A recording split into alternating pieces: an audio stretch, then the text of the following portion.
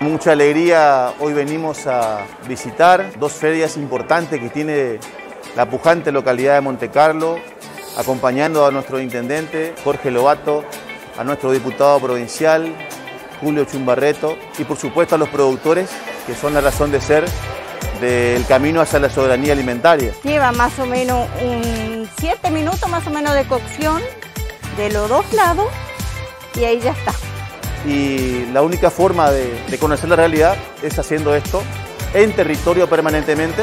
Se le cierra bien y lo ponemos a hervir a baño María hasta que es más o menos 70-80 y de ahí le das el último toque media hora, un hervor fuerte, dos horas. Y este es el resultado. A probar se ha dicho.